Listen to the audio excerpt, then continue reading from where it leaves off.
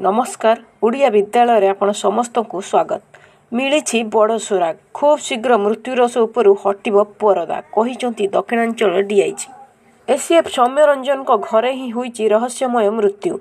ଯାହାକୁ ଏବେ ବି ଅନେକ ବୁଝିପାରୁନାହାନ୍ତି ଯେ କେମିତି ଏହି ଘର ଭିତରେ ଜଣେ ବ୍ୟକ୍ତି ପୋଡ଼ି ହୋଇଯିବ ଏବଂ କେହି ତାକୁ ବଞ୍ଚାଇ ପାରିବେ ନାହିଁ।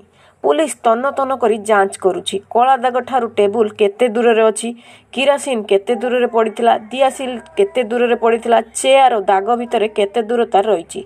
ଏହିପରି ସମସ୍ତ ତଥ୍ୟ ସଂଗ୍ରହ କରିଛି କ୍ରାଇମବ୍ରାଞ୍ଚ ଓ ପାରଳାଖେମୁଣ୍ଡି ପୁଲିସ। ସୌମ୍ୟରଞ୍ଜନଙ୍କ ବାସଭବନରେ ତାଙ୍କ ଦେହରେ ନିଆଁ ଲାଗିଥିଲା ନା ଅନ୍ୟ ସ୍ଥାନରେ ଅଘଟଣ ଘଟାଇ ବାସଭବନରେ ଅନ୍ତିମ ରୂପ ଦିଆଯାଇଥିଲା।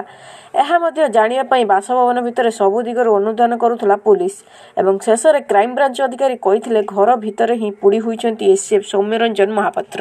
କିନ୍ତୁ ଏକଥାକୁ ମାନିବାକୁ ନାରାଜ ସୌମ୍ୟରଞ୍ଜନଙ୍କ ପରିବାର ଲୋକ। କାରଣ ଏସିଏଫ୍ ସୌମ୍ୟରଞ୍ଜନଙ୍କର କେମିତି ହେଲା ମୃତ୍ୟୁ ଏହା ଏକ ହତ୍ୟା ନା ଆତ୍ମହତ୍ୟା ନା ଆକସ୍ମିକ ଦୁର୍ଘଟଣା?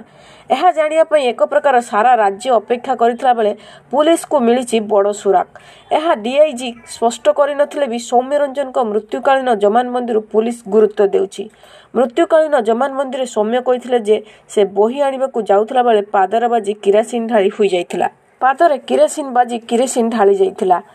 ଏହାପରେ ନିଆଁ ଲାଗିଯାଇଥିଲା। ଏହି ବୟାନ ଆତ୍ମହତ୍ୟା ଦିଗରେ ସନ୍ଦେହ କରିବା ପାଇଁ ପୁଲିସକୁ ଖୋରାକ ଯୋଗାଉଛି ବୋଲି କୁହାଯାଉଛି। କିନ୍ତୁ ପୁଲିସ କହିଛି ସବୁ ଦିଗରୁ ତଦନ୍ତ କରାଯାଉଛି। ନିଶ୍ଚିତ ଭାବରେ ଯେତେବେଳେ ମୃତ୍ୟୁକାଳୀନ ଜମାନବନ୍ଦୀରେ ସୌମ୍ୟ କହିଥିଲେ ଯେ ବହି ଆଣିବାକୁ ଯାଉଥିଲା ବେଳେ ପାଦରେ ବାଜି କିରାସିନ ଢାଳି ହୋଇଯାଇଥିଲା ଏହାପରେ ନିଆଁ ଲାଗିଯାଇଥିଲା।